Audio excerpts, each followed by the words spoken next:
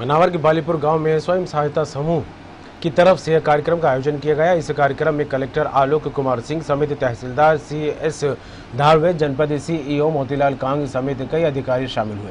Collector ने कहा, स्वयं सहायता समूह ने इस क्षेत्र को मजबूती प्रदान की है। वहीं कलेक्टर ने योजनाओं को लेकर समूह के लोगों से चर्चा भी की।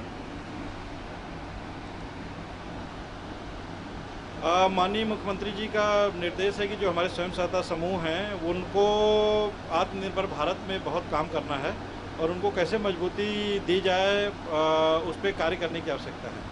हमारे ज़िले में जो ऋण देने का स्वयं सहायता समूहों को 30 करोड़ का लक्ष्य था, आज वो पचासी करोड़ कर दिया गया है और पर डे हम लोग 50 लाख का ऋण बैंकों के माध्यम से इन समितियों को दिलवा रहे हैं।